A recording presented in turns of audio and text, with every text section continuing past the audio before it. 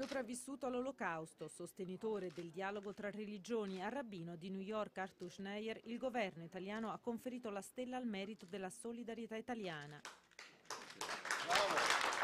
Una cerimonia simbolica al consolato italiano nel giorno della memoria, anche per la presenza del nuovo arcivescovo di New York, Timothy Dolan, che ha salutato il rabbino come un eroe per il suo contributo a costruire un ponte tra Santa Sede e mondo ebraico. Uh, per me è un onore ricevere questa onorificenza. Ho un grande rispetto e amore per gli italiani, per la loro cultura. Ho un'antica e stretta relazione con la Chiesa Cattolica, con il Papa Benedetto XVI, che ho ospitato nella sinagoga in occasione della sua visita a New York.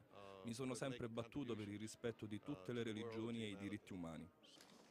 Ricordando il giorno della memoria, Schneider sottolinea il suo apprezzamento per la decisione italiana di disertare la conferenza di Ginevra dopo le dichiarazioni di Ahmadinejad contro Israele. Se neghiamo la storia, non impareremo dal passato e rischiamo di ripetere gli stessi errori.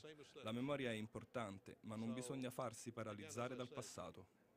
Alla cerimonia parole di solidarietà anche per le vittime del terremoto in Abruzzo, un saluto dell'arcivescovo Dolan alla comunità italiana di New York. Sono molto contento perché ci sono tanti italiani qui a New York, ci sono tanti parrocchi italiani, ci sono tanti, tanti italiani. Siamo tristi adesso perché è il terremoto e preghiamo per l'Italia e, e, e faremo aiutare tutti i vittime.